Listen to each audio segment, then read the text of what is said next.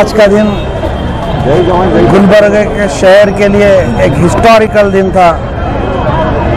हम पिछले 20 साल से ऐसी कभी कोई रैली नहीं देखे, ऐसा कहीं जमावड़ा नहीं देखे।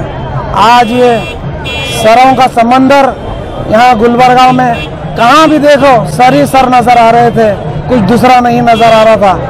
आज मल्लिकार्जुन खड़गे साहब का नॉमिनेशन की रैली थी। आज सिर्फ़ ये रैली से आप पता कर सकते हैं, मल्लिकार्जुन खड़गे साहब, कम से कम, मैं समझता हूँ दो तीन लाख के लीड से यहाँ पर जीतेंगे। क्योंकि लोग गंज से जैसे निकले थे, अभी तक वही जोश में यहाँ पर है। आप यहाँ और मैं और एक एक बात ये कहना चाहता हूँ, यहाँ पर लड़ाई कोई हमारे हमारे से जो छीन लिया गया कैंडिडेट उससे साथ नहीं है। हमारी यहाँ पर लड़ाई नरेंद्र मोदी के साथ डायरेक्ट है। ये मैं इसलिए बोल रहा हूँ, नरेंद्र मोदी पार्लियामेंट में खुद मल्लिकार्जुन खड़गे साहब को ये बोला है। मल्लिकार्जुन खड़गे साहब, इस बार आपका पार्लियामेंट में आखिरी बार होगा।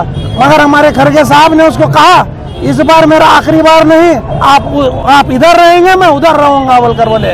तो इसलिए आज मैं, इसलिए भी मैं ये बात कह रहा हूँ, क्योंकि आप मेरे बाजू देख सकते हैं, मेरे दोस्त नूर मोहम्मद साहब, जो कि बिछड़ गए थे पाँच साल से, वो जेडीएस में गए थे।